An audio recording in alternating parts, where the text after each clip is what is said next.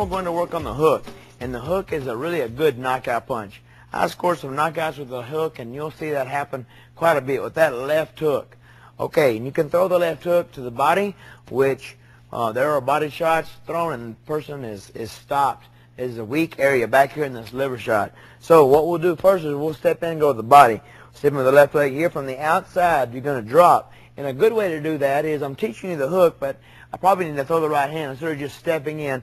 You throw the right hand, and as you throw the right hand, you're dropping down. You know what you're going to do.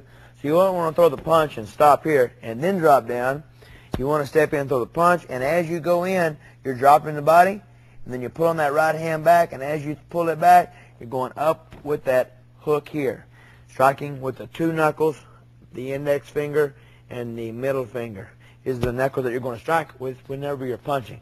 You, you step in, you throw the right, and then from here you're going to come up, boom, and the left. And you're pushing and shifting that weight, as I talked earlier, is the shifting the weight with the left leg. If I just punch with my arm and turn my body, yeah, I can hit it pretty good. But if I come up and push and lean back, not only is that going to give me more power, but what am I set for? You got that right, the right hand here, okay? So we step in, and from here we're going to throw the body shot. One, come back with the right. We're already set up. We're right back. We've got that head moving here and here. And then from there, you can follow it up with a hook. Sometimes you can even the double hook. You step in, you go the body. One, you come back and you drop that weight. Then you come back up the head here. And then from there, you can follow that up with the right hand, of course, also. Or from here, step in. Let's go body. Let's go head. And let's drop and turn and get out of there without getting hit. Or you can step in to smother their punches. That's what I used to do a lot of. You get in so close, they can't punch you. If they're so close, when they're when you're trying when they're trying to hit you, they're so close to them. I'm sorry, you're so close to them, they can't hit you. So, uh, two two things: you want to either be so close they can't hit you. The one thing about about that is you can't hit them, but this gives you you know what you're doing. This gives you an opportunity to take a break, maybe grab them, or maybe just get so close and take a couple of deep breaths, catch your breath, and then step out a little bit and start going. Or step to the side, boom, boom, and let them have it. Or your distance from here. Okay? If I want to be, let's say I do not want to fight. In other words, I want to take me a little break. I'm going to stay out a little farther here. And I'm going to be moving. I might thinking, I might stick him with the jab every once in a while just to kind of keep him on guard, not to let him know that I'm taking a break. If he knows I'm taking a break, any experienced fighter, they're going to jump on you knowing that they're not going to give us a break. So we don't want to make, we don't want to fight his fight.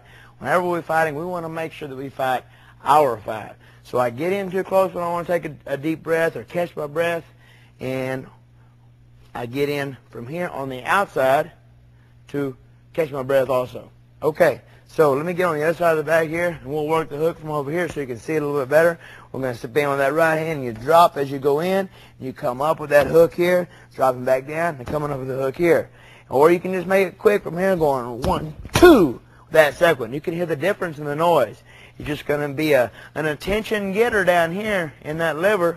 You step in the head, boom, and then from here, one, two, really pushing off that leg here to give you the power with that left hook. Okay, but the body shot, it can be so, so important. If you really put a lot of power into it, what they say is you take the body out and the head will die. Now what we're talking about is head hunting, head hunting. They can move that head, they can block with those hands, but you take that body out and yes, the head, in other words, your knockout will come is what we're trying to say. So you step in, right hand, left hook the body, drop it back down, and you're set now to come back up with that left hook here, and then you're set right back here with the right, and then stepping here using your defense. So you're going to move this direction. You're going to move this direction. With your movement, with your punches, you continually want to change. If I'm doing the same thing, I'm going the same way here. He's just going to throw that right hand. I'm going to run right into it. So we don't want to do that. We want to change our movement from side to side and we also want to change the techniques that we throw. Okay, so now we're going to work the right hook from here or right cross. Step across this left hand, bring it to the body here, around back behind this arm in here, or it can be right in front of the arm here. So you step in and the hook in the body here. Step in the hook here, and then we're going to move here. So we're not going to come right back. Okay, so you step, boom, and here. Step, boom, come here. Okay, this way you're set. You always, once you punch, you don't want to be out of position. If you punch and you feel yourself stumbling, and believe me, I've done it, uh, that's just a mistake on our part. We always want to keep our feet and our balance underneath us. Okay?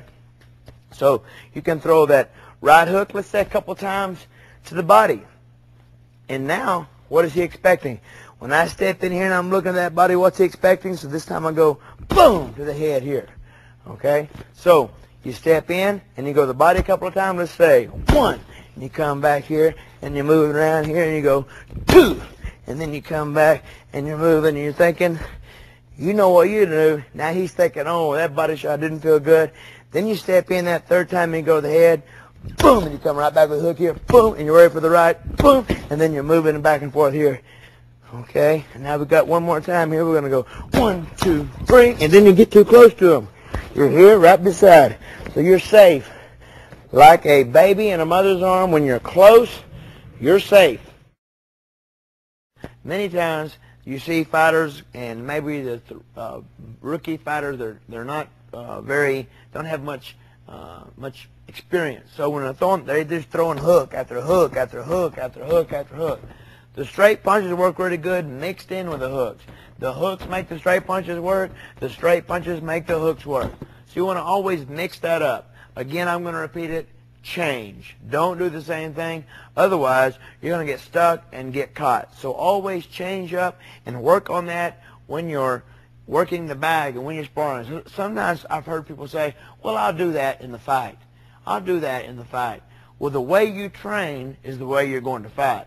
So we want to make good, good habits and practice and train hard so that we can fight hard and fight right.